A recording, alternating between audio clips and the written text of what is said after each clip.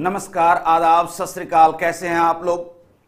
Christophers के official YouTube channel पर आप सबों का बहुत बहुत स्वागत है। मैं हूँ संतोष चंद्रा और आइए शुरू करते हैं द हिंदू एडिटोरियल विद सैस। वो कैब का डोज हर रोज। तो उम्मीद करता हूँ आप लोग सभी तैयार होंगे और बहुत अच्छे होंगे। Well well, Bachchan Bhardwaj ji steno ji very good morning very good morning Hare Ram ji very good morning very good morning very good morning चलिए तो शुरुआत करें और ये उसी स्पोकन बैच के रिगार्डिंग है कि इसके एडमिशन सभी भी जारी हैं। आप लोग चाहें तो एडमिशन ले सकते हैं और स्पोकन के बैच को ज्वाइन कर सकते हैं। ये सत्रह तारीख से स्टार्ट हुआ है और सारे वीडियोस आपके अवेलेबल रहेंगे। इवन जब तक कोर्स है उसके एक महीने बाद तक, जब तक कोर्स चलेगा उसके एक महीने बाद तक सारे वीडियोस अवेलेबल रहेंगे ताकि आप बार बार रिपीटेडली उन्हें देख सकें। ठीक है? चलिए तो हम आते हैं आज के सेशन में। देखिए, द हिंदू एडिटोरियल विशेष और आप जानते हैं कि इसके तहत हम लोग synonyms antonyms spelling errors idioms and phrases one word substitute grammatical errors grammatical points और फिर एडिटोरियल की एनालिसिस इन सारी चीज़ों को देखते हैं।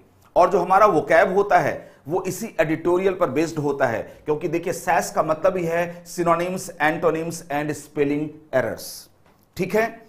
तो सबसे पहले हम लोग वो कैब को लेंगे, चूँकि वो कैब को जानेंगे, उसके बाद फिर हम एडिटोरियल के अंदर जाएँगे तो फिर चीज़ें हमें ज़्यादा बेहतर ढंग से समझ में आएगी। तो वो कैब ड्रिल वो कैब ड्रिल आप जानते हैं कि वो कैब ड्रिल में आपके सामने एक वर्ड आता है, इसके नीचे दो ऑप्शंस होते हैं आपको बताना है कि इन दोनों में से कौन सा इसका सिनोनिम या फिर एंटोनिम बन सकता है? क्योंकि वह या तो एंटोनिम होगा, या तो सिनोनिम होगा, लेकिन सावधान कभी कभी ऐसा भी होता है कि दोनों के दोनों सिनोनिम होंगे या दोनों के दोनों एंटोनिम होंगे। यही तो वो कैब ड्रिल है, आपको अपने माइंड को एक्सरसाइज देनी है और बताना है एग्जैक्टली है क्या। तो आपके सामने पहला वर्ड आ चुका है डेवस्टेटिंग डेवस्टेटिंग डेवस्टेटिंग क्या होता है? जी।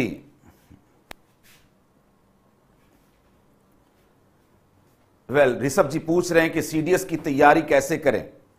देखिए सीडीएस की तैयारी कैसे करें? खैर इस पर तो कभी मैं अलग से चर्चा कर लूँगा आपसे बट फ़िलहाल आप इतनी बात जान लें। इंग्लिश तो इंग्लिश होती है आप सीडीएस के पेपर को उठा करके देखिए जो चीज़ें पूछी जाती हैं। यदि आप कंसिस्टेंटली अपने अपनी पढ़ाई को जारी रखेंगे, हर चीज़ को पढ़ेंगे, अपने वो कैब को बेहतर करेंगे, अपने ग्रामर को बेहतर करेंगे, अपने रीडिंग कॉम्प्रीहेंशन को बेहतर करेंगे तो अपने आप चीज़ें बेहतर होती चली जाएँगी, क्योंकि उसके अंदर जितनी भी चीज़ें पूछी जाती हैं, यही वो सारी चीज़ें हैं जो आप यहाँ पढ़ते हैं एडिटोरियल के थ्रू भी, और इसके अलावे जो कॉम्पिटेटिव बैच होती है, उनको ज्वाइन करके आप इन चीज़ों को और बेहतर कर सकते हैं। बाकी स्ट्रेटेजीज आदि की जहाँ तक बात है, उसकी चर्चा फिर मैं कभी अलग से करूँगा। तो देखिए डेवस्टेटिंग का मतलब क्या होता है? डेवस्टेटिंग का मतलब होता है विनाश लाने वाला, अर्थात विनाशात्मक। डेवस्टेटिंग का मतलब होता है विनाश लाने वाला, अर्थात विनाशात्मक।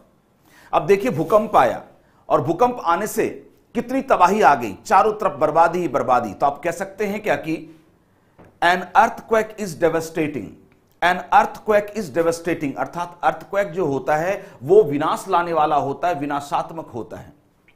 ठीक है? अब युद्ध युद्ध क्या लाता है? विनाश लाता है। तो आप कह सकते हो कि war is devastating war is devastating war क्या लाता है? विनाश लाता है, विनाशात्मक होता है, और यह एक एडजेक्टिव है। वैसे डेवस्टेट जो होता है, वो वर्ब होता है। डेवस्टेट से ही बना है डेवस्टेटिंग और ये एडजेक्टिव के तौर पर यूज़ होते हैं। वैसे आप इन्हें प्रेजेंट पार्टिसिपल और जरंट के फॉर्म में भी ले सकते हैं। गॉट इट तो बताएँ ऑप्शन क्या बनेगा? रुइनस या फिर मोनोटोनस रुइनस या फिर मोनोटोनस देखिए बहुत ही सही जवाब आ रहे हैं। बहुत अच्छी बात है। वास्तव में इसका जो सही जवाब होगा, वो होगा रुइनस रुइनस का मतलब भी होता है विनाश लाने वाला। रुइन होता है रुइन देखिए, जो रुइन होता है रुइन का मतलब होता है डेस्ट्रॉय रुइन का मतलब होता है डेस्ट्रॉय अर्थात विनाश करना। उसी से ये एडजेक्टिव बन गया रुइनस इसलिए दोनों मीनिंग वाइज सेम हैं। अर्थात ये बन गया सिनोनिम डन मोनोटोनस तो आप जानते हैं, नीरस होता है. मोनोटोनस नीरस. यदि आप कहते हैं कि I am living a monotonous life इसका मतलब कि बहुत ही मैं नीरस जीवन जी रहा हूँ. बिल्कुल ब्लैक एंड व्हाइट टीवी की तरह. गॉट इट चलिए, आगे बढ़ते हैं.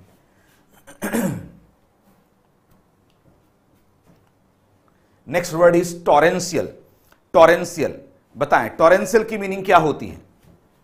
Tell me the meaning of torrential well Nilesh ji good morning good morning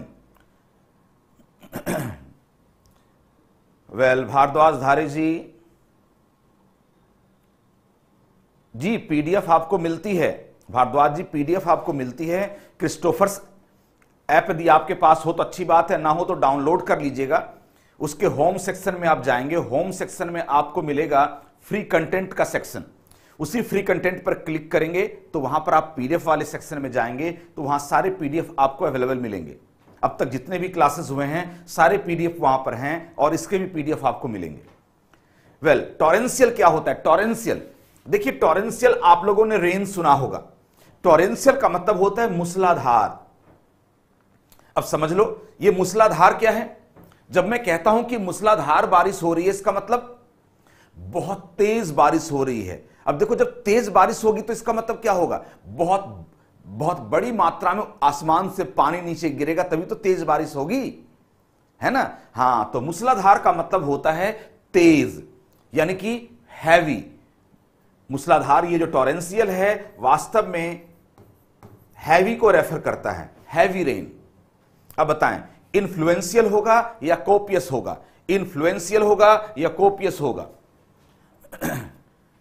Well Amit ji very nice to know you are from Ranchi very good very good चलिए, बहुत अच्छा लगा। हाँ तो देखिए इन्फ्लुएंशियल कोपियस क्या होगा? वास्तव में इसके आंसर होंगे कोपियस कोपियस का मतलब क्या होता है? बहुत बड़ी मात्रा में कहने का मतलब है क्या कि in abundant quantity in abundant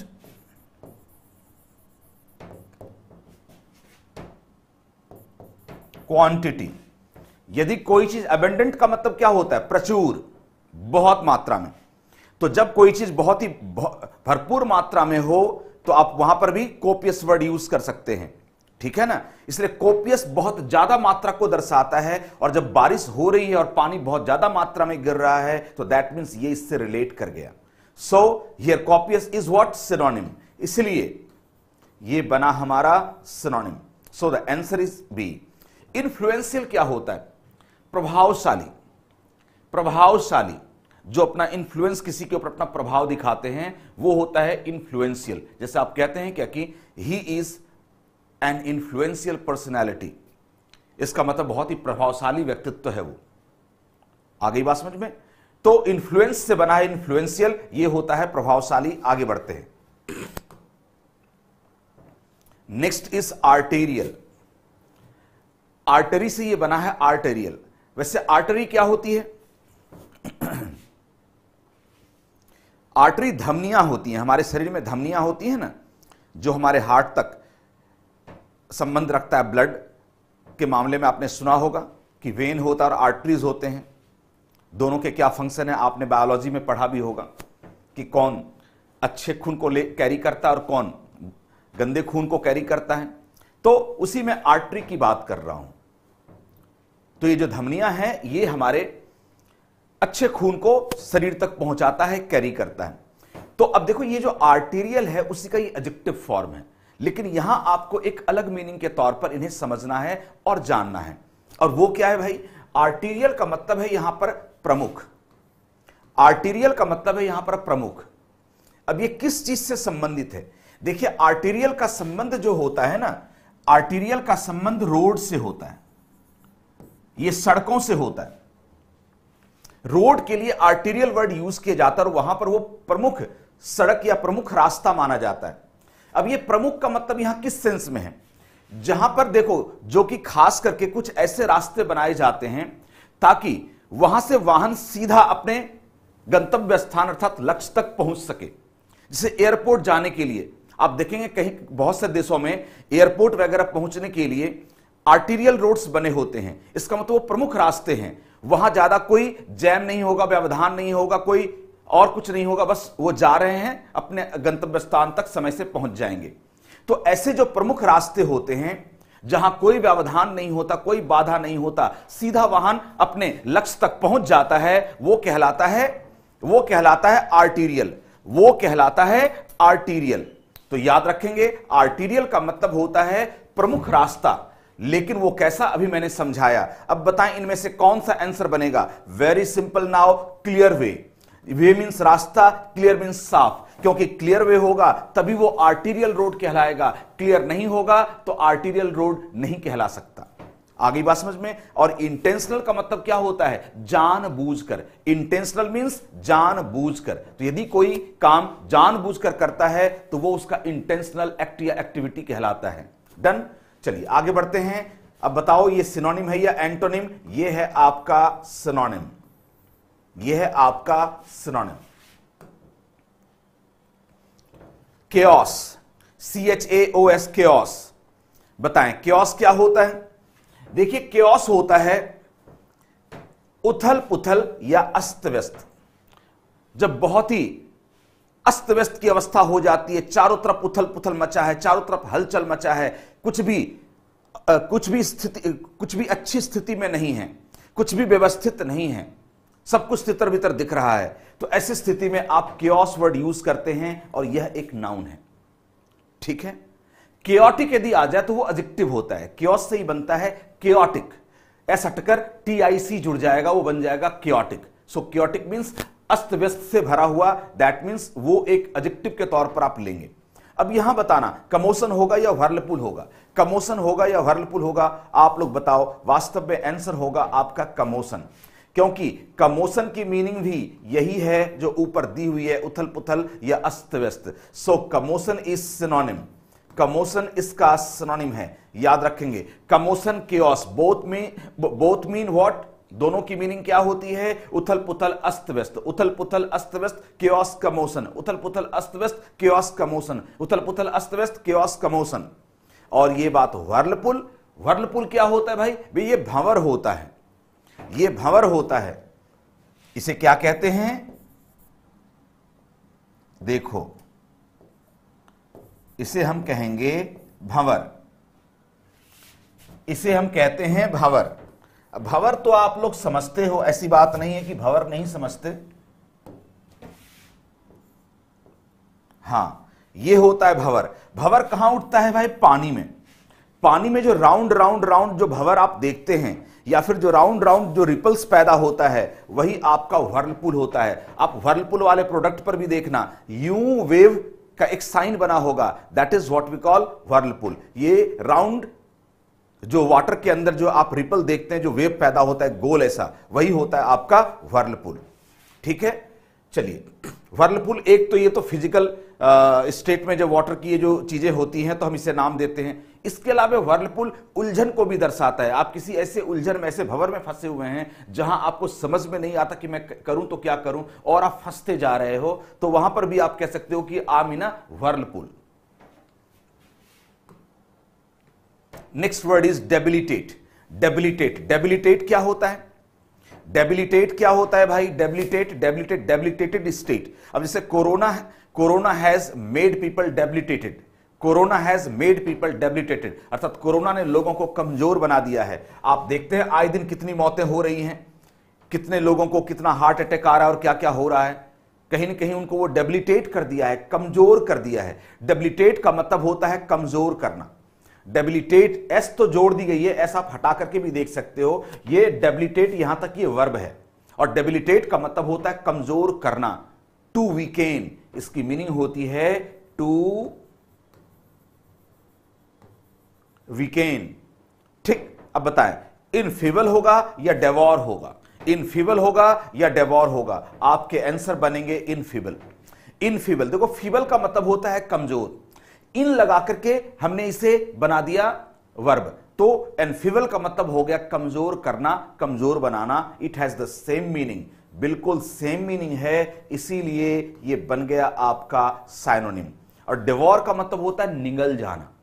अजगर ने उसे निगल लिया तो आप कह सकते हैं कि the the python devoured him आ गई बात समझ में ना? तो याद रखना डिवोर का मतलब होता है निगल जाना। चबाते भी नहीं है, सीधा निगल जाते हैं। चलिए। आगे बढ़ते हैं।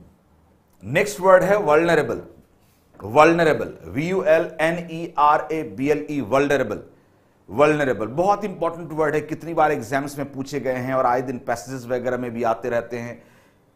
यदि आप ध्यान दोगे तो इसकी मीनिंग आपको मालूम होगी। वर्ल्नरेबल का मतलब क्या होता है? जोखिम से भरा हुआ। जोखिम से भरा हुआ।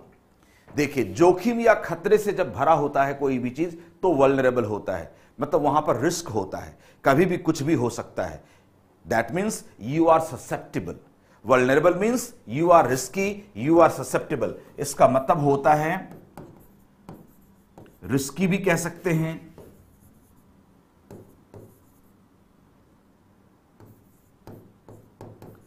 और ससेप्टेबल भी कह सकते हैं।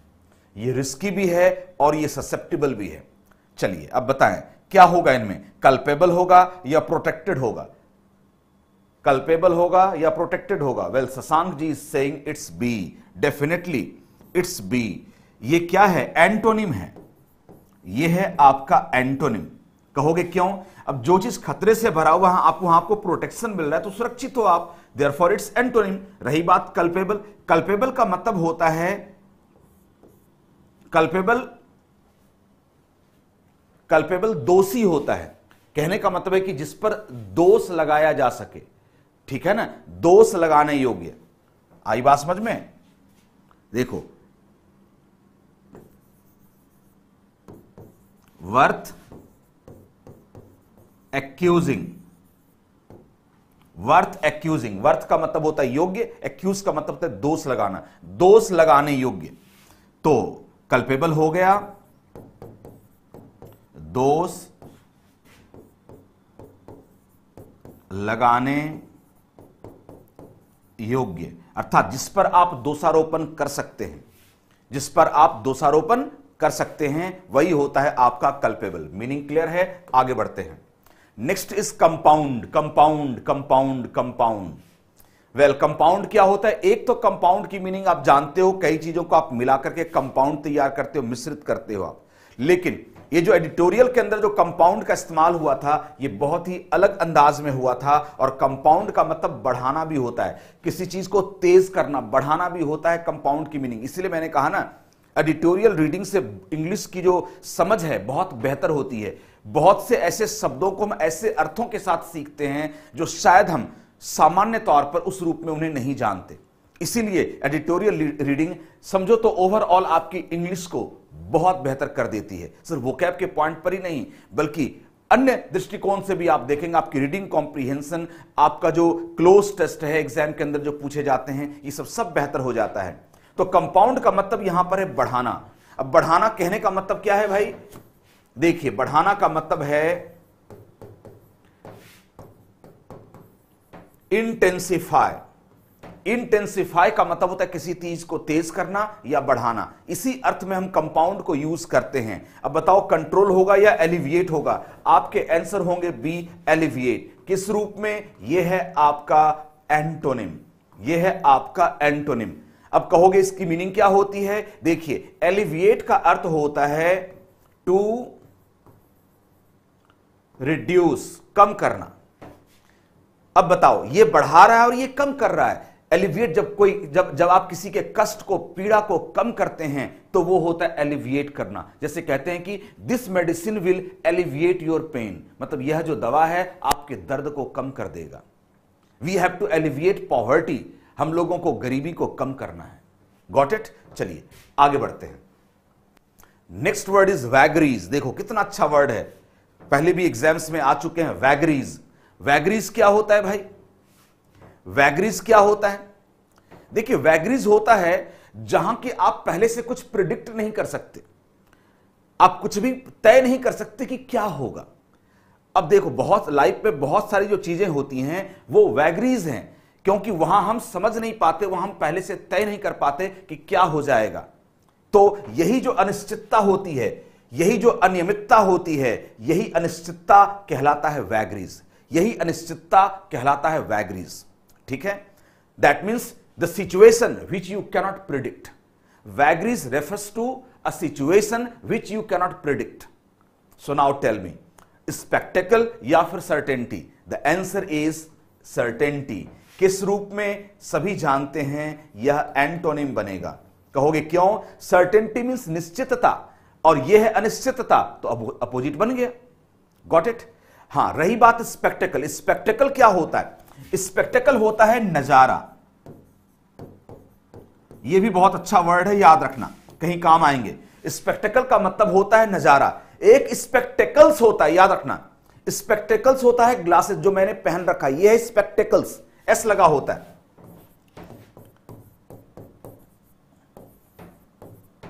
अब देखिए, यहाँ पर जो मैंने लिखा है, इसमें एस जोड़ा। यह है आपका ग्लासेस अर्थात चश्मा। तो स्पेक्टिकल्स में हमेशा एस होगा। और ये जो स्पेक्टिकल है, ये है नज़ारा। जैसे कहते हैं व्हाट अ स्पेक्टिकल क्या नज़ारा है? व्हाट अ स्पेक्टिकल क्या नज़ारा है?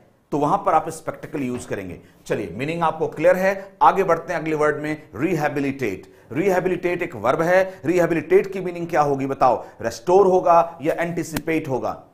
देखिए रिहेबिलिटेट हम कई कॉन्टेक्स्ट में, कई रूपों में यूज़ करते हैं। रिहेबिलिटेशन सेंटर आपने सुना होगा।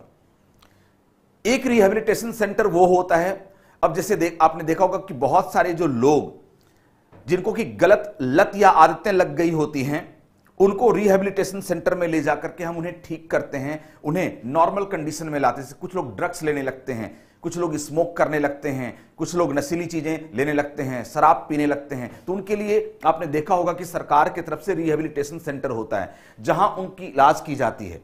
वहाँ पर उनको काफ़ी वक्त तक रखा जाता है और फिर उनका इलाज होता है, तब फिर वो जाकर ठीक होते हैं। तो ऐसा जो स्थान होता है, वो रिहेबिलिटेशन सेंटर होता है। तो रिहेबिलिटेट का मतलब होता है किसी को स्वस्थ करना। एक मीनिंग तो ये हो गया। दूसरा रिहेबिलिटेट का मतलब पुनर्वास करना भी होता है। जैसे बाढ़ आ गई।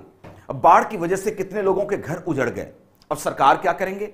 उनसे उन्हें फिर से बसाएँगे। तो उन्हें बसाने के लिए जो व्यवस्था की जा रही है, वो भी रिहेबिलिटेट कहलाएगा। इसलिए रिहेबिलिटेट का मतलब होता है पुनर्वास करना।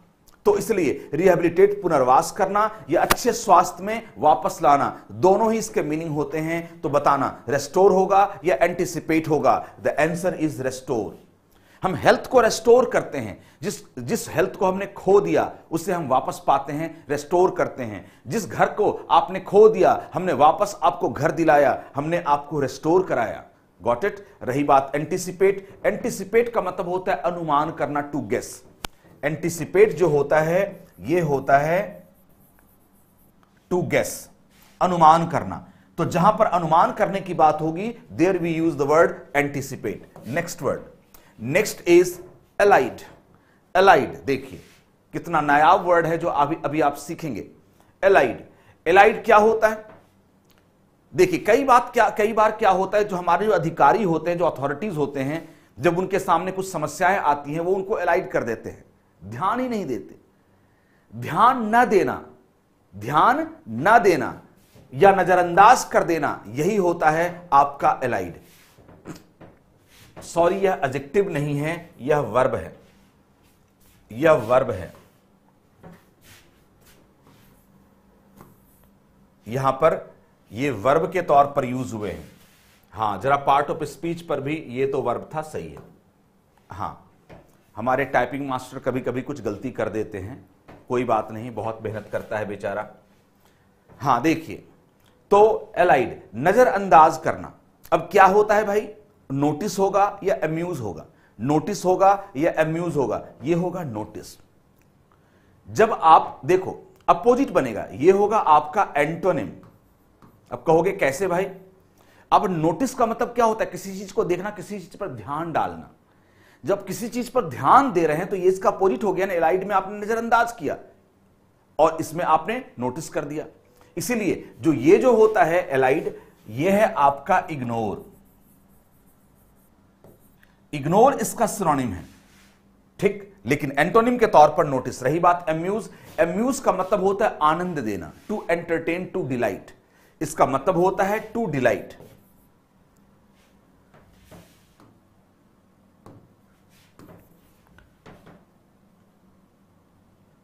हाँ। To D E L I G S T delight आनंद देना, खुशी देना। एम्यूज जैसे आप कहते हैं कि this is an amusing moment मतलब ये बहुत ही आनंददायक पल है। एडहियर टू ये, वैसे मैं बता दूँ, ये गलत, यहाँ पर ये डाल दी गई है। इसे तो खैर, वैसे एडहियर टू का मतलब होता है टू ऑबे एडहियर टू का मतलब होता है ऑबे किसी चीज़ का पालन करना. जब आप किसी चीज़ को बहुत ही स्ट्रिक्टली फॉलो करते हैं तो आप कहते हैं, जैसे we should adhere to the rules हमें अपने नियमों का पालन करना चाहिए. We should adhere to the rules हमें नियमों का पालन करना चाहिए. ठीक है ना? हाँ, यहाँ पर जो वर्ड्स दिए गए हैं यह है आपका एपेक्स और यह है आपका फुटपाथ अब बताओ, क्या दोनों में से कोई भी इससे रिलेट करेगा? कोई भी रिलेट नहीं करता. यह एक वर्ब है.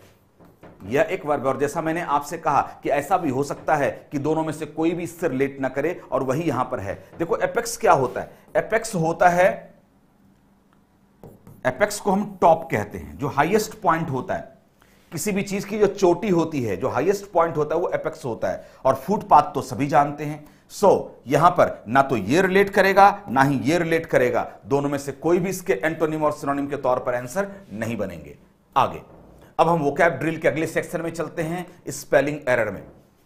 अब आपके सामने दो वर्ड्स हैं। आपको बताना है कि इनमें से किसकी स्पेलिंग सही है और किसकी स्पेलिंग गलत है। इकोलॉजिकल कॉन्सेंट्रेटेड इकोलॉजिकल कॉन्सेंट्रेटेड ये गलत है, ये सही है। अब आप कहोगे, क्या गलत है भाई? इसमें से एक सी हटा दो। इकोलॉजिकल में सिंगल सी होता है, एक ही सी होगा। दो सी इकोलॉजिकल में नहीं होता। इसीलिए E C O L O G I C L ecological होता है। Got it next one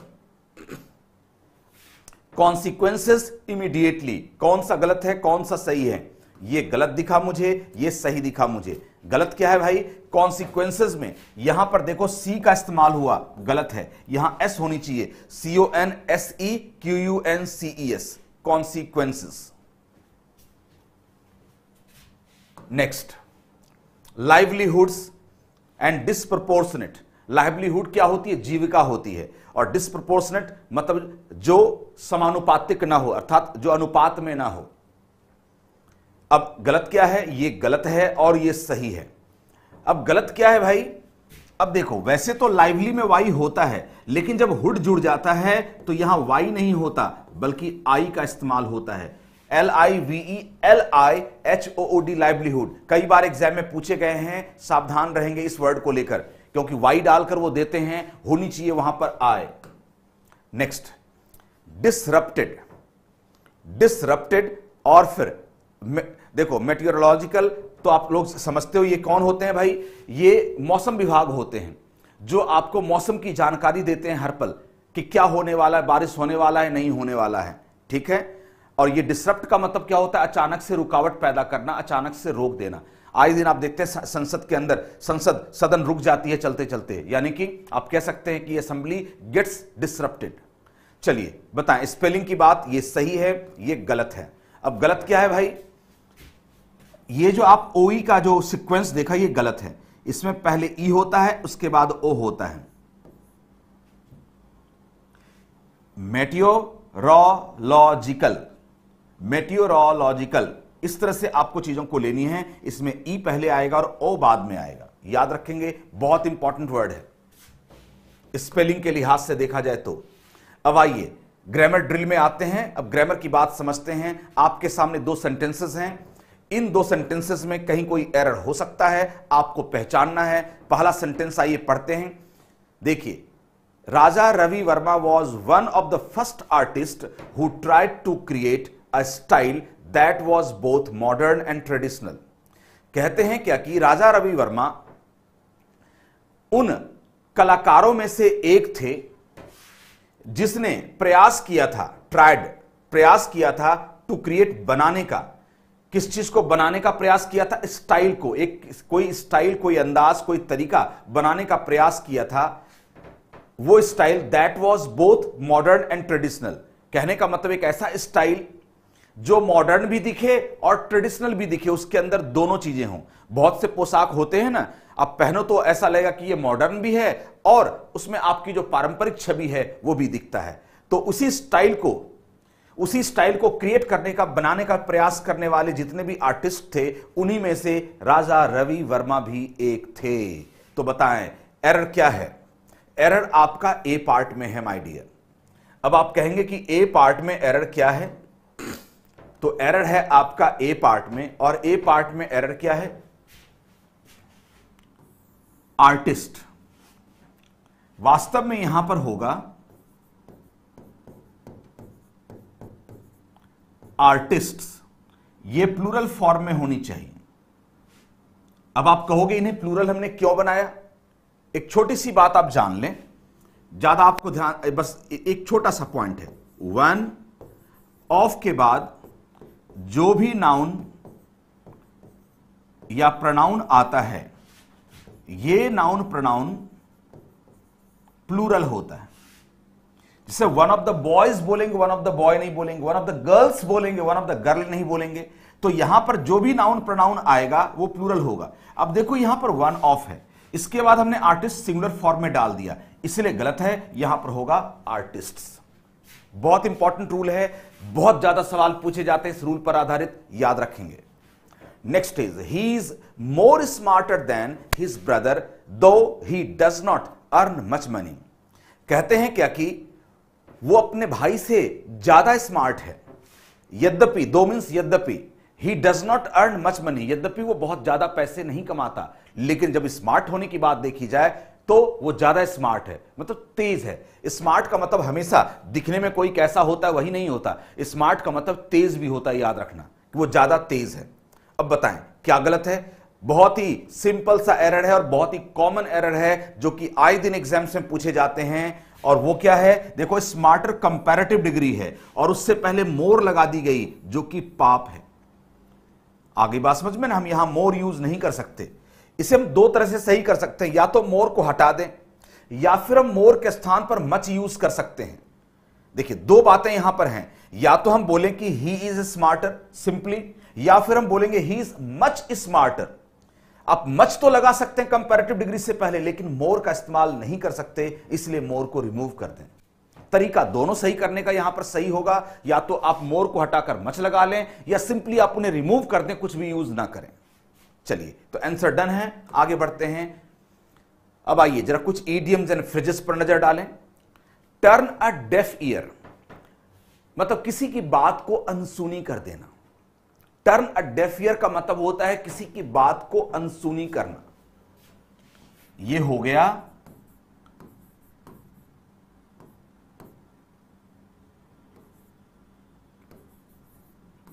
अनसुनी करना। अब देखिए, अनसुनी करना का मतलब क्या हुआ कि आप उनकी बात को सुनकर भी इग्नोर कर रहे हैं। ऐसा लग रहा मानो कि आप उसकी बात को सुन ही नहीं रहे, ध्यान नहीं दे रहे हैं। ठीक? यही होता है डिसरिगार्ड इग्नोर या रेफ्यूज कहीं ना कहीं आप उसको डिसरिगार्ड कर रहे हैं, या फिर आप उसको इग्नोर कर रहे हैं, या फिर आप उनको रेफ्यूज कर रहे हैं। ऑब्वियसली बात है, जब आप किसी की बात पर ध्यान नहीं दे रहे हैं तो कहीं ना कहीं आप उसको तो इनकार ही कर रहे हैं ना। आ गई बात समझ में? So turn a deaf means to ignore to disregard और टू रेफ्यूज क्लियर हाँ। अब देखिए एट वंस विट्स एंड बहुत इंपॉर्टेंट ईडियम है। एट वंस विट्स एंड इसका मतलब होता है किंग कर्तव्य विमूढ़। किंग कर्तव्य विमूढ़ मतलब क्या करूँ, ना करूँ की स्थिति में होना। समझ में नहीं आ रहा मैं करूँ तो क्या करूँ? तो यही होता है किंग कर्तव्य विमूढ़। विमूढ़ का मतलब बिल्कुल आप ऐसी अवस्था में पहुँच गए जहाँ आपको समझ में ही नहीं आ रहा। तो वही होता है पजल्ड कंफ्यूज या परप्लेक्स्ड यही होता है at one's it's at one's wits end का मतलब हो गया कि क्या करूँ, ना करूँ समझ में नहीं आना। यानी किंग कर्तव्य विमूढ़ वाली अवस्था में होना। चलिए next to fight tooth and nail जी जान से लड़ना। यह होता है आपका जी जान से लड़ना। बिल्कुल। जी जान से लड़ना। अब जी जान से आप तब, तब लड़ेंगे ना जब आप बिल्कुल डिटर्मिंड होकर लड़ेंगे एकदम संकल्प की भावना से। नहीं जैसे भी हो हमें जीतना है। बात सिर्फ़ लड़ाई की नहीं होती। यदि आप किसी क्षेत्र में कोई प्रयास कर रहे हैं किसी चीज़ को हासिल करने का और वो भी बिल्कुल जी जान से कर रहे हैं तो वहाँ भी आप कह सकते हैं कि I am fighting tooth and nail I will achieve it anyhow जैसे you all are fighting tooth and nail because you have to be you have to be an officer क्योंकि आपको एक ऑफिसर बनना है। इसलिए आप सभी बिल्कुल जी जान से मेहनत कर रहे हैं तो वहाँ पर भी आप इन्हें यूज़ कर सकते हैं। To fight in a determined way for what you want आप जो चाहते हैं, उसको पाने के लिए बिल्कुल संकल्पित ढंग से आप लड़ रहे हैं, प्रयास कर रहे हैं, मेहनत कर रहे हैं। This is what we call to fight tooth and nail the green eyed monster अब देखो ग्रीन आइड मतलब हरे आँखों वाला जो है ना, दैत्य है मॉन्स्टर है। अब ये क्या होता है? Use as a way of talking about jealousy ये ईर्ष्या की भावना को दर्शाने के लिए यूज़ की जाती है। जैसे हम कहते हैं ना कि I can see the green eyed monster in you या फिर I can see the green eyed monster in your eyes अब बताओ इसका मतलब क्या? कि मुझे तुम्हारे अंदर जो तुम जल रहे हो ना, तुम्हारे अंदर जो जलन की जो भावना है, जो ईर्ष्या है, वो मुझे दिख रही है। अब मान लो कि आप आप किसी से प्यार करते हो, और अब देखो होता क्या है कि या तो वो किसी और को या फिर कोई और उसको प्यार कर रहा है तो आपके अंदर तो ईर्ष्या पैदा होगी ना। तो वो जो लव ट्रायंगल वाला जो केस होता है तो लव ट्रायंगल में जो ईर्ष्या और जलन वाली जो बात आती है, वही होता है आपका ग्रीन आइड मॉन्स्टर तो याद रखेंगे ग्रीन आइड मॉन्स्टर का मतलब होता है जेलसी ईर्ष्या की भावना, जलन की भावना। नेक्स्ट आइए, अब कुछ वन वर्ड सब्सटीट्यूट को भी देखें. एक्सट्रिकेट एक्सट्रिकेट का मतलब क्या होता है? फ्री फ्रॉम डिफिकल्टीज समस्याओं से मुक्त करना. यदि आप किसी को एक्सट्रिकेट कर रहे हैं, जैसे कहते हैं क्या कि this will extricate this will extricate you इसका मतलब है क्या कि, यह आपको समस्याओं से मुक्त कर देगा. इसलिए, यह अपने वास्तव में एक्सट्रिकेट एक वर्ब होता है. इसे हम वर्ब के तौर पर यूज़ करते हैं और इसका मतलब होता है फ्री फ्रॉम डिफिकल्टीज समस्याओं से मुक्त करना, समस्याओं से समझो तो उन्हें निवार देना, निपटा मतलब उबार देना उबार देना। हाँ नाउ एमिग्रेंट एमिग्रेंट कौन होते हैं भाई? प्रवासी होते हैं। ये होते हैं प्रवासी। ये प्रवासी होते हैं। One who lives one's country in order to settle permanently in others अब जिससे मान लो कि भारत को छोड़कर यदि कोई अमेरिका जा रहा है तो ये सब के सब एमिग्रेंट हैं। ये सब के सब एमिग्रेंट हैं। तो एमिग्रेंट कौन होंगे? जो एक देश को छोड़कर दूसरे देश में जा रहा है परमानेंटली सेटल करने के लिए। आपने देखा होगा हमारे देश से बहुत सारे लोग कनाडा जाकर सेटल कर जाते हैं, अमेरिका जाकर सेटल कर जाते हैं या और भी किसी देश में। तो ये सब के सब क्या हैं? एमिग्रेंट्स हैं। नेक्स्ट एम्पेरिक एम्पेरिक क्या होता है?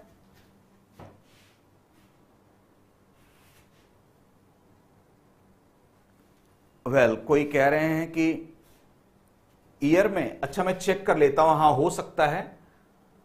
ओ सॉरी जी जी जी बिल्कुल सही कहा थैंक यू यहाँ पर ये वाला आर होगा ईयर होगा हाँ। सॉरी ये टाइपिंग मिस्टेक है यहाँ पर। जी। बिल्कुल सही कहा। Turn a deaf ear thank you thank you well thank you steno ji very good well क्या नाम है पीकी ब्लेंडर जी? आपको भी बहुत बहुत धन्यवाद। आपने इस चीज़ को नोटिस कराया। हमारे टाइपिंग मास्टर जी करते हैं ऐसी गलती। वहाँ लिखना कौन सा कान वाला? क्योंकि टर्न डेफ डेफ का मतलब होता है बहरा। और बहरा क्या होता है? कान होता है। ये साल वाला जो है वो बहरा थोड़ी होता है। चलिए एनीवे anyway, आगे बढ़ते हैं। हाँ तो मैं एम्पेरिक की बात कर रहा था। एम्पेरिक को कौन होते हैं भाई? A person who relies on experiment and observation देखिए, कुछ लोग ऐसे होते हैं, वो ऐसे किसी चीज़ पर यकीन नहीं करते। वो कहते हैं क्या कि भाई, जब तक मैं प्रयोग ना कर लूँ, या फिर मैं अपनी नज़र से देख ना लूँ कि वास्तव में ऐसा होता है या नहीं होता है, तब तक मैं यकीन नहीं करूँगा।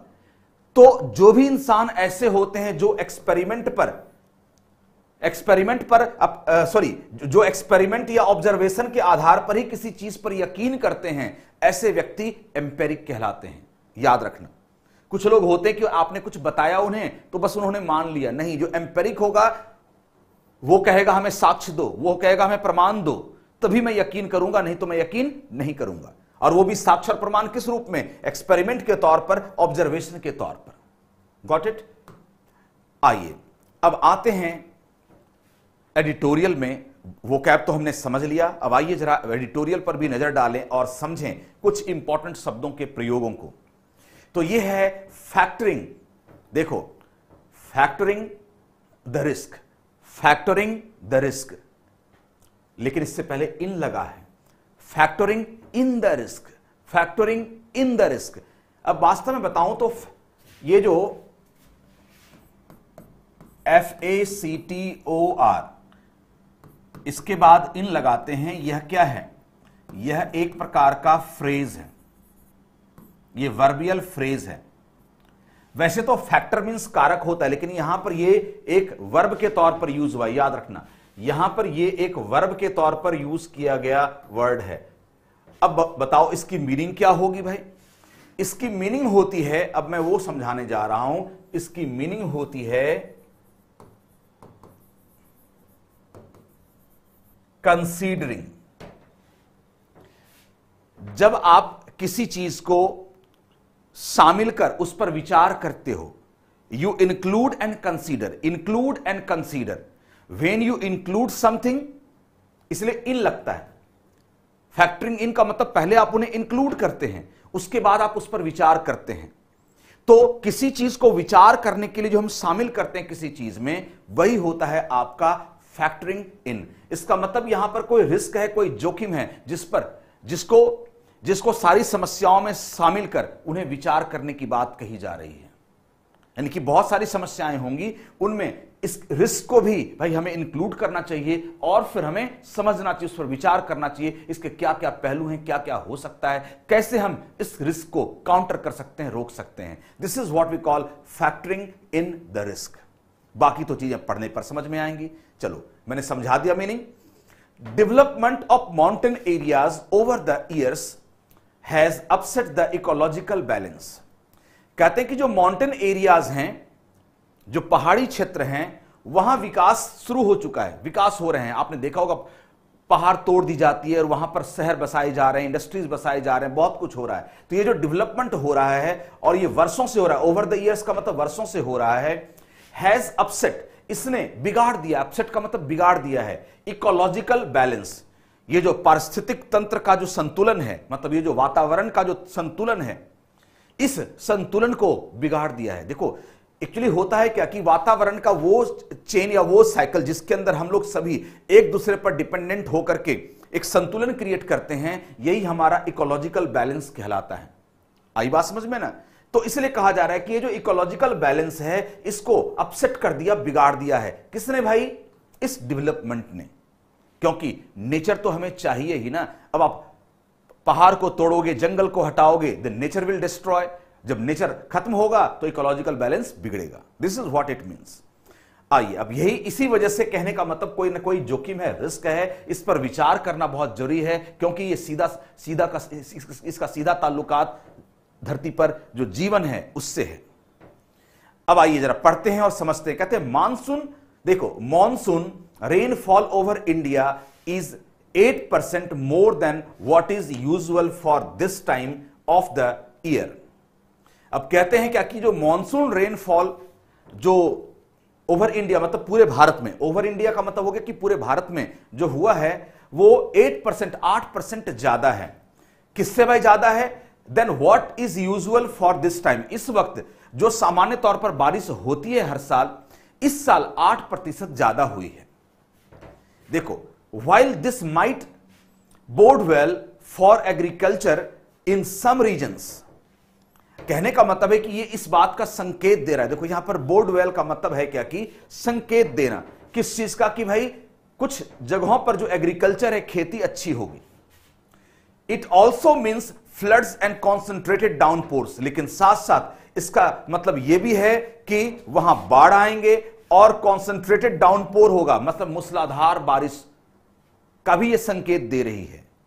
आई बात समझ में ना? विद डेवेस्टेटिंग कॉन्सिक्वेंसेस और जब मूसलाधार बारिश होगा फ्लड होगा तो फिर क्या होगा? डेवेस्टेटिंग कॉन्सिक्वेंस का मतलब होता है रिज़ल्ट यानी कि विनाशात्मक परिणाम सामने आएँगे। डेवस्टेटिंग कॉन्सिक्वेंसेस विनाशात्मक परिणाम। डेवस्टेटिंग कॉन्सिक्वेंसेस विनाशात्मक परिणाम। डाउनपोर्स मूसलाधार। एक बात बताऊँ कि डाउनपोर नाउन भी होता है वर्ब भी होता है। ठीक है ना? तो अब अलग अलग कॉन्टेक्स्ट में यूज़ होता है बट एक्चुअली आप देखोगे जनरली डाउनपोर को आप नाउन के फॉर्म में आप बहुत देखेंगे। तो एक बात बता दूँ सॉरी वर्ब के रूप में आप आप देखोगे कि वर्ब के रूप में बिना डाउन का भी इन्हें यूज़ कर दिया जाता है। सिर्फ़ कहते हैं पोरिंग यदि हम कहते हैं कि इट इज़ पोरिंग टुडे इसका मतलब है कि आज मूसलाधार बारिश हो रही है। इट इज़ पोरिंग टुडे आई बात समझ में ना? एक, एक एक बहुत अच्छा याद आ गया अचानक से एक प्रोवर्ब जैसे कहते हैं ना कि it never rains but pours it never rains but pours का मतलब यह हो जाता है ना कि जब भगवान देता है तो छप्पर फाड़ के देता है। यानी कि रेन मतलब बारिश नहीं हो रहा है, बिल्कुल बिल्कुल बरस रहा है, लो मूसलाधार बारिश हो गई। जब दिया उन्होंने तो बिल्कुल छप्पर फाड़ के दे दिया। आगे बात समझ में, इसे भी याद रखना। तो पोर का मतलब भी होता है मूसलाधार बारिश होना। इन्हें आप सिर्फ़ अकेला पोर को भी वर्ब के तौर पर यूज़ कर सकते हैं इस सेंस में। और downpour is a noun, इसका मतलब है मूसलाधार बारिश। आगे बढ़ते हैं। At least twenty five people were killed over the weekends weekend अब देखिए सप्ताह जो अभी आ, आ, कहने का मतलब जो वीक बीता है उसके उसको लेकर यह बात कही जा रही कि सप्ताह के, के दौरान कितने लोग मारे गए हैं? 25 लोग। कम से कम 25 लोग मर चुके हैं। किसकी वजह से? As torrential rains triggered flash floods sorry and landslips in Himachal Pradesh and Uttarakhand कहते हैं क्या कि एक सप्ताह के दौरान जो है कितने लोग मारे गए भाई? 25 लोग मारे जा चुके हैं। लिखा ना कि over the weekend as torrential torrential का मतलब मूसलाधार बारिश। चूँकि मूसलाधार जो बारिश है टोरेंशियल रेन का मतलब मूसलाधार बारिश। डाउनपोर भी मूसलाधार बारिश होता है टोरेंशियल एक एडजेक्टिव है। इसका मतलब हो, इसके साथ आपको रेन जोड़ना होगा। तो टोरेंशियल रेन्स का मतलब मूसलाधार बारिश। तो क्योंकि ये जो मूसलाधार बारिश जब हुई इसने ट्रिगर कर दिया। कहने का मतलब है क्या कि ला दिया। किस चीज़ को भाई? ट्रिगर का मतलब होता है किसी चीज़ को डेवलप कर देना, किसी चीज़ को स्टार्ट कर देना, किसी चीज़ को ब्रिंग अबाउट कर देना, उस चीज़ को घटित कर देना। तो देखो, ये फ्लैश फ्लड्स क्या होता है? अचानक से जो बाढ़ की अवस्था क्रिएट हो जाती है, तेज बारिश की वजह से यह होता है फ्लैश फ्लड्स तेज बारिश की वजह से जो अचानक से बाढ़ की अवस्था पैदा होती है, वो होता है फ्लैश फ्लड्स तो इन्होंने बाढ़ ला दिया।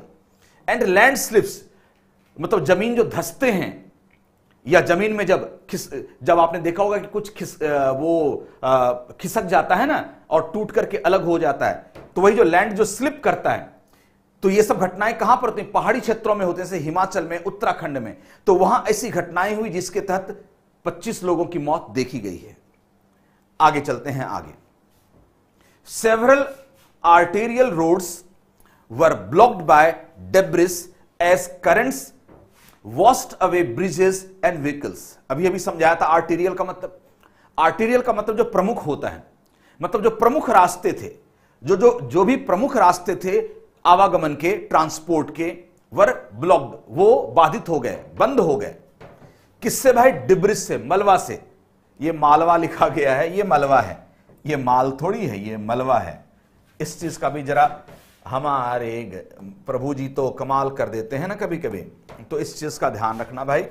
ये है आपका यहाँ पर मलवा। हाँ।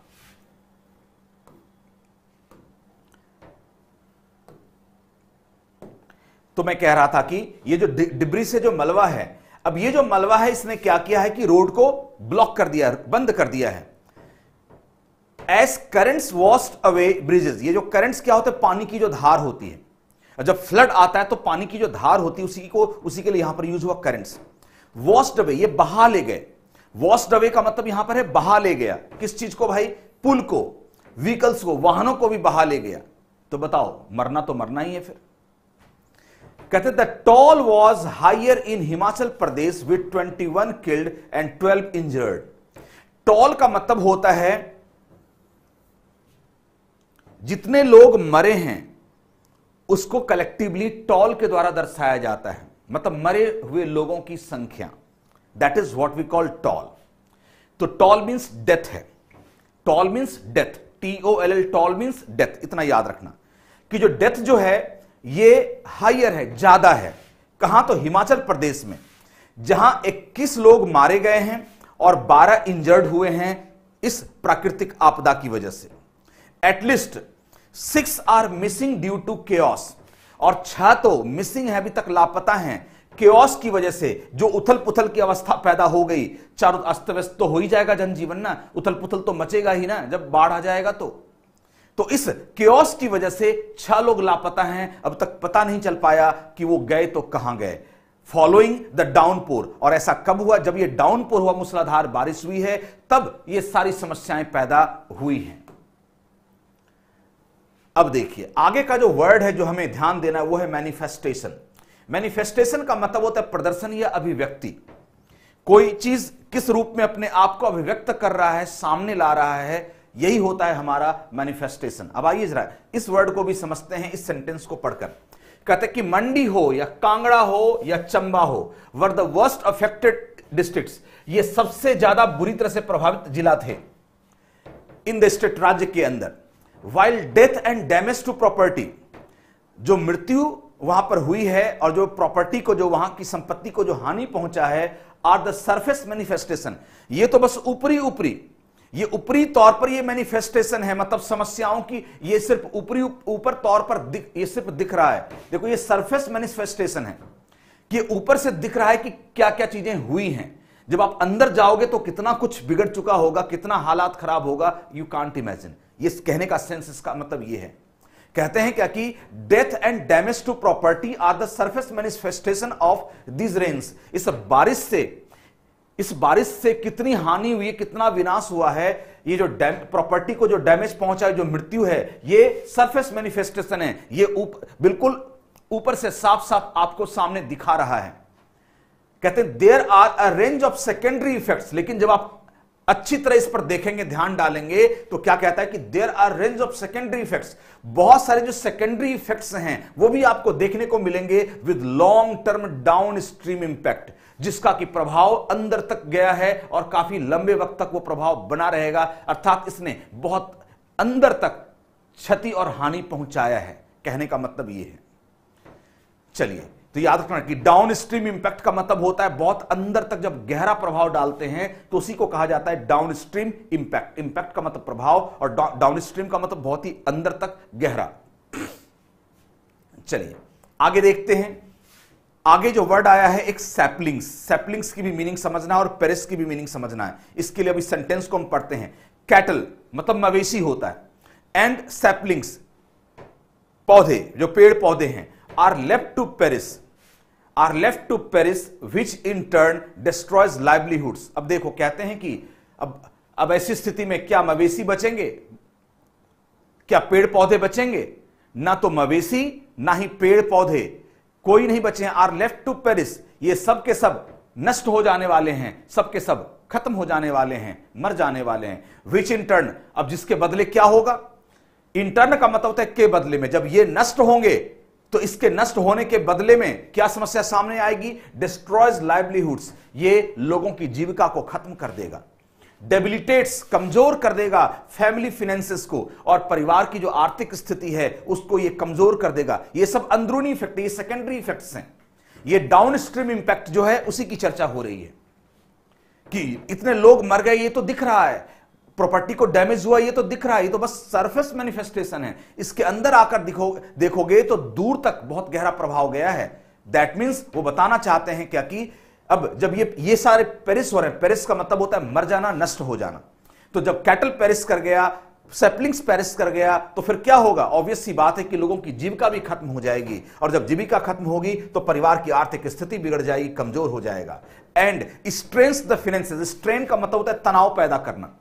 तनाव पैदा करना strength the finances of the state checker और इतना ही नहीं, जो राज, राजकोष है स्टेट चेकर का मतलब होता है जो राजकोष है, जो जो स्टेट का जो ट्रेजरी है जहाँ से सरकार पैसे, पैसे का इस्तेमाल करती है वहाँ का जो फिनांस है वहाँ की जो वित्तीय अवस्था है वो वहाँ भी स्ट्रेन पैदा होगा तनाव पैदा होगा। आखिर वहाँ पैसे कहाँ से पहुँचते हैं? इन्हीं सब चीज़ों के हम ही लोगों के ज़रिए तो राजकोष में जो पैसे पहुँचते हैं ना तो स्टेट चेकर भी अफेक्टेड होगा। कहने का मतलब यह है। अब आइए अगला जो वर्ड हम लोग देखने जा रहे हैं, बहुत ही इंपॉर्टेंट वर्ड है इनएविटेबल कई बार एग्ज़ाम्स में आ चुके हैं सिनोनिम्स एंटोनिम्स के तौर पर. इनएविटेबल का मतलब होता है जिसे हम, जिसे टाला ना जा सके, अर्थात जिसे हम रोक नहीं सकते, वो होकर ही रहेगा. अवश्यम भावी. इसे हम हिंदी में कहते हैं अवश्यम भावी. आइए, अब इसकी मीनिंग को समझते हैं. It is therefore inevitable that some spots are far more vulnerable and bear a proportionate impact of climate fury इससे पहले हमें पढ़ना होगा, तब जाकर के चीज़ें समझ में आएँगी कि the monsoon compresses around 75 percent of India's annual rainfall देखिए, कहते कि जो मॉनसून है, ये कॉम्प्रेस करता है अराउंड 75 परसेंट ऑफ़ इंडिया का जो वार्षिक जो रेनफॉल होता है इनटू फोर मंथ्स चार महीने में and unevenly waters and unevenly waters the country's highly diverse terrain और अनइवेनली मतलब असमान तौर पर। समान तौर पर नहीं, बल्कि असामान रूप से यह वाटर कर देता, पानी से भर देता है कंट्री के हाईली डाइवर्स टेरेन को। टेरेन का मतलब क्षेत्र को। कहते हैं इट इज़ देयर फॉर इसीलिए यह अवश्यम भावी मतलब यह बहुत आवश्यक हो जाता है। It is inevitable that some spots are far more vulnerable कहने का मतलब है कि कुछ ऐसे जगह हैं जो बहुत ज़्यादा जोखिम से भरे हुए हैं। And bear a disproportionate impact of climate और वहाँ पर जो प्रकृति ये जलवायु का जो है मतलब आप इसे यूँ समझ लो, प्रकृति का। जो प्रकृति का जो प्रभाव है, बहुत ही डिसप्रोपोर्शनेट रूप में आता है। मतलब बहुत ही वो अनुपातिक मतलब कहा जाए तो बहुत ही विषम रूप में विषम। यहाँ डिस्प्रोपोर्शनेट का मतलब है कि विषम रूप में आप इन्हें समझो। ऐसे तो डिस्प्रोपोर्शनेट का मतलब होता है असमानुपातिक। असमानुपातिक शब्द समझ में नहीं आएगा। आप सीधा समझो उस पर। बहुत ही विषम प्रभाव। मतलब समान रूप से वहाँ प्रभाव नहीं दिखेंगे। कहीं कुछ ज़्यादा, कहीं कुछ कम। अर्थात इस तरह से डिस्प्रोपोर्शनेट इंपैक्ट प्रकृति का जो इंपैक्ट है, वहाँ वो दिखता है। इसीलिए इन पर ध्यान देना अत्यंत आवश्यक हो जाता है। यही बात यहाँ कहा गया है। और ये जो इंपैक्ट पैदा होता है क्लाइमेट फ्यूरी की वजह से। क्लाइमेट मतलब ये जो जलवायु का जो गुस्सा है, यानी कि प्रकृति का जो गुस्सा है, आखिर हमारा जो प्रकृति, हमारा जो क्लाइमेट भी तो चेंज हो रहा है ना। समय के साथ हमारा जो क्लाइमेट है वो बिगड़ रहा है ना। तो जब आप उसके साथ छेड़छाड़ कर रहे हो तो वो तो अपना फ्यूरी दिखाएगा ना, वो तो अपना गुस्सा दिखाएगा ना। तो उसी के नतीजे से चीज़ें वर्नरेबल हो रही हैं, जिस पर हमें अब ध्यान देना होगा। यानी कहने का मतलब है कि हमें अपने नेचर पर ध्यान देना बहुत ज़रूरी है। इसी बात को यहाँ कहा गया है। A recent report released by Himachal Pradesh uh, Department Environment, Science and Technology underlines that mountain areas are highly vulnerable to natural disasters. अभी जो inevitable की बात करी कि उन कुछ स्थान हैं जो काफ़ी हाईली वल्नरेबल हैं जोखिम से भरे हुए हैं उन पर हमें ध्यान देना चाहिए उसी के रिगार्डिंग अब यहाँ बात कही गई है कि कि हाल फ़िलहाल का एक रिपोर्ट आया था हिमाचल प्रदेश के डिपार्टमेंट ऑफ़ एनवायरमेंट ने ये रिलीज़ किया था इस रिपोर्ट को science technology and environment science and technology ये डिपार्टमेंट का नाम है। इन्होंने अंडरलाइन किया था, रेखांकित किया था कि जो माउंटेन एरियाज़ हैं, ये हाईली वल्नरेबल ये सबसे ज़्यादा जोखिम भरे क्षेत्र हैं। टू नेचुरल डिजास्टर्स यहाँ पर आए दिन प्राकृतिक जो है घटनाएँ होती रहती हैं। Way development over years has compounded the problem और यहाँ पर जो जो डेवलपमेंट हो रहा है, पहाड़ों के ऊपर इतना सारा जो डेवलपमेंट किया जा रहा है, ये ये डेवलपमेंट उचित नहीं है। क्योंकि इससे क्या हो रहा है कि, अब देखो वही कह रहे हैं कंपाउंडेड द प्रॉब्लम इसने समस्याओं को कंपाउंड किया, बढ़ाया। मैंने कहा ना कंपाउंड का मीनिंग बढ़ाना भी होता है। इसने समस्याओं को कंपाउंड किया है, बढ़ाया है। अपसेटिंग बिगाड़ते हुए इकोलॉजिकल बैलेंस जो पारिस्थितिक तंत्र के अंदर जो संतुलन है, उसको बिगाड़ दिया किसने? इस डेवलपमेंट ने, इस डेवलपमेंट ने। और जिसकी वजह से जो इतनी सारी समस्याएँ पैदा हो रही हैं। तो इसलिए वो कह रहे हैं क्या कि, हमें इस चीज़ पर ध्यान देना होगा कि the problem by upsetting the ecological balance of various physical processes बहुत सारे जो फ़िज़िकल प्रोसेसेस हैं उसके जो संतुलन है उसके जो परिस, परिस, जो आ, उसका जो पारिस्थितिक संतुलन है वो बिगड़ गया। किसकी वजह से भाई? इस डेवलपमेंट की वजह से। इसलिए वो कह रहे हैं कि पहाड़ों के ऊपर इतना डेवलपमेंट उचित नहीं है। आइए अब अगला वर्ड लेते हैं वैगरीज बहुत इंपॉर्टेंट वर्ड था वैगरीज आइए जरा इसकी मीनिंग समझते हैं। वाइल हिल स्टेट्स जितने भी पहाड़ी राज्य हैं such as Himachal Pradesh and Uttarakhand have certain unique challenges इनके पास कुछ अलग ही प्रकार की चुनौतियाँ हैं, जो शायद अन्य राज्यों में ना हो। The threats from vagaries threats का मतलब यहाँ खतरा है, धमकी नहीं बल्कि खतरा। कहते हैं कि वो जो वो खतरा जो कि क्लाइमेट की अनिश्चितताओं की वजह से पैदा हो रही है। वैगरीज ऑफ़ क्लाइमेट का मतलब है कि जो जलवायु की अनिश्चितताओं की वजह से पैदा होती हैं आर नॉट यूनिक कहते हैं क्या कि अब यहाँ जो आर यूज़ हुआ, ये आर किसके लिए यूज़ हुआ? इस थ्रेट्स के लिए। ये जो खतरा है, ठीक है, यहाँ पर चैलेंजेस यूनिक ज़रूर हैं, लेकिन ये कोई खतरा यूनिक नहीं है। क्योंकि ये तो आए दिन होता रहा है और हम सभी जानते हैं कि जब क्लाइमेट बिगड़ेगा तो कौन कौन से कौन कौन कौन कौन सी समस्याएँ पैदा होंगी, कौन कौन से खतरे, कौन कौन सा खतरा पैदा होगा तो ये सब खतरा कोई यूनिक चीज़ नहीं है, वो तो हम पहले से भी जानते हैं। इसीलिए हमें इन चीज़ों को ध्यान में रखकर चलना चाहिए, ताकि हम इन थ्रेट्स से अपने आप को उबार पाए। This is what the author means to say आगे बढ़ते हैं। देखिए, अब अगला वर्ड जो है, जिन्हें हम समझना है रिहेबिलिटेट रिहेबिलिटेट का अर्थ होता है पुनर्वास करना, अच्छे स्वास्थ्य में वापस लाना। अब आइए, जरा समझते हैं इसके मीनिंग को। इन रिसेंट ईयर्स हाल फ़िलहाल के वर्षों में improvements in the early warnings for incoming cyclones अब कहते हैं कि वो चक्रवात साइक्लोन होता है चक्रवात। जब चक्रवात आने वाला होता है तो पहले जो सूचनाएँ मिलती थी वो कभी सही भी होता था, कभी गलत भी होता था, कभी समय पर मिल भी पाता था, कभी समय पर नहीं भी मिल पाता था। लेकिन अब इसके अंदर इंप्रूवमेंट हुआ है, सुधार हुआ है। और ये जो चेतावनी है, वो हमें मिल जाती हैं पहले। कहते हैं कि हैव हेल्प स्टेट एजेंसीज इसने मदद किया है राज्य के अंदर जो भी सरकारी एजेंसीज हैं जो जिनका काम क्या है भाई? इवैक्यूएट करना और रिहेबिलिटेट करना कि यदि वास्तव में कहीं पर चक्रवात आने वाला है तो वहाँ लोगों को अपने घरों से निकालकर, सुरक्षित स्थान पर ले जाकर उनको बसाना। तो इस चीज़ में मदद मिल रही है।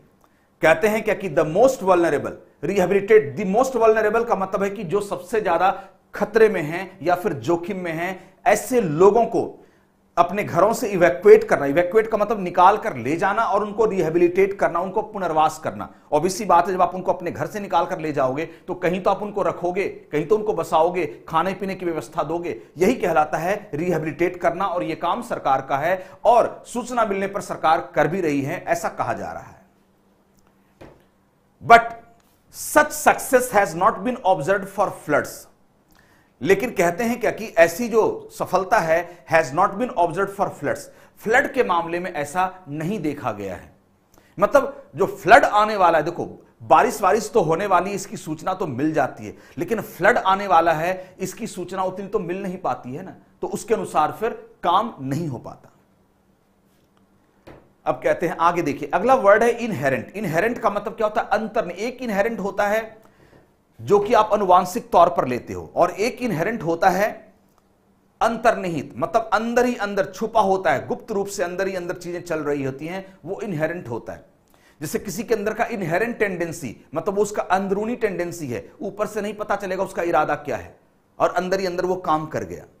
तो वो होता है इनहेरेंट टेंडेंसी अब आइए, इसी बात को समझते हैं। While the inherent risk of infrastructure development in hills and unstable terrain is well understood, these are often elided by authorities in the name of balancing the demands of people for better infrastructure and services. अब देखिए यहाँ बहुत अच्छा word जो एक Allied आया था उसकी भी मीनिंग अब हम लोग समझ लेंगे कैसे इस्तेमाल हुआ अब कहते हैं क्या कि जबकि वाइल का मतलब जबकि the inherent risk of infrastructure कहते हैं क्या कि ये जो इंफ्रास्ट्रक्चर डेवलपमेंट हो रहा है इसके कुछ छुपे हुए नुकसान हैं। अंतर्निहित रिस्क है, इसका मतलब कुछ छुपे हुए नुकसान हैं, जो हमें ऊपर से नहीं दिखते हैं। कहाँ पर ये जो डेवलपमेंट हो रहा है, जो पहाड़ी क्षेत्रों में, या फिर जो अनस्टेबल जो टेरेन या जो क्षेत्र है, वहाँ पर ये जो इंफ्रास्ट्रक्चर जो डेवलपमेंट हो रहा है तो इसके कुछ छुपे हुए नुकसान हैं। उसी की बात हो रही है कि कुछ छुपे हुए नुकसान हैं। कहते हैं कि दीज आर ऑफन जबकि ये बात जो होता है क्या कि जो छुपे हुए जो नुकसान है, ये वेल अंडरस्टूड ये सबको पता है। इसको अच्छी तरह से समझा जा रहा है। इसके बावजूद दीज आर ऑफन इलाइडेड इसके बावजूद, इसे नजरअंदाज कर दिया जाता है इलाइडेड कर दिया जाता है। ये दीज किसके लिए? इन रिस्क के लिए। इन रिस्क को जो है, नजरअंदाज कर दिया जाता है। किसके द्वारा भाई? अथॉरिटीज के द्वारा, अधिकारियों के द्वारा। किस नाम पर? वो कहते हैं कि मैं तो भाई बैलेंस कर रहा हूँ, संतुलन बना रहा हूँ। कैसा संतुलन बना रहा हूँ भाई? Demands of the people for better infrastructure and services वो कह रहे हैं कि लोगों का, लोगों की जो ज़रूरत है, आज वो चाहते हैं कि उनको एक बेहतर इंफ्रास्ट्रक्चर मिले, अच्छी सुविधाएँ मिले तो उनकी ये जो मांगे हैं, उसी को तो मैं बैलेंस करने का प्रयास कर रहा हूँ। और इसके लिए मैं इस काम को कर रहा हूँ तो कहाँ कोई बुराई है? और इस, और सॉरी हाँ, इस बात का हवाला देते हुए वो रिस्क को इग्नोर कर देते हैं इलाइट कर देते हैं। याद रखेंगे। So elide means to ignore हाँ, अब एक वर्ड आया था एडहियर टू अब आइए जरा इसकी भी मीनिंग हम लोग समझ लें। तो देखिए, कहते हैं कि the increase risk and cost to such projects and infrastructure कहते हैं क्या कि जो ऐसे जो प्रोजेक्ट चलाए जाते हैं पहाड़ी क्षेत्रों में या फिर जो अनस्टेबल टेरेन है वहाँ पर इंफ्रास्ट्रक्चर डेवलपमेंट के लिए तो इसमें जो खर्चे आ रहे हैं, जो और जो बढ़ा हुआ जो जोखिम है शुड बी फैक्टर्ड इन इसका मतलब है कि इसे हमें विचार में लेना चाहिए। अर्थात इस पर हमें विचार करना चाहिए when they are tendered out by the government खास करके जब आप ऐसे प्रोजेक्ट के लिए और इंफ्रास्ट्रक्चर डेवलपमेंट के लिए जब सरकार टेंडर निकालती है कि भाई आओ और यहाँ इस काम को करो तो टेंडर निकालने के वक्त आपको इन चीज़ों पर भी विचार करना चाहिए कि यहाँ रिस्क क्या है। खर्चे कितने आएँगे और रिस्क कितना है। And scientific advice regarding development ought to be strictly adhere to और जो सबसे महत्वपूर्ण है कि जो वैज्ञानिक सलाह जो दिए जाते हैं ऐसे डेवलपमेंट के लिए, उसको स्ट्रिक्टली फॉलो किया जाना चाहिए।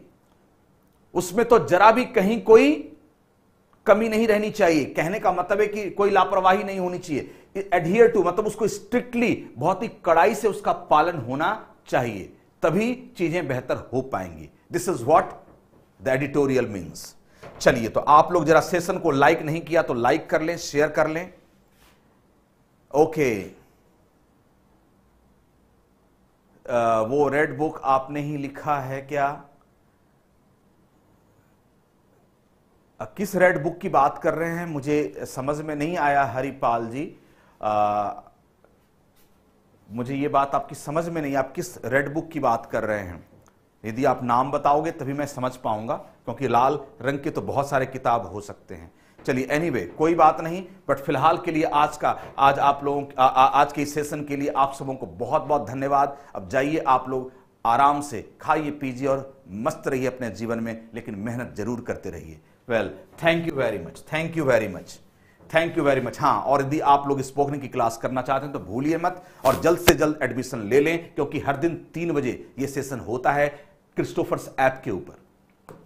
Okay thanks lot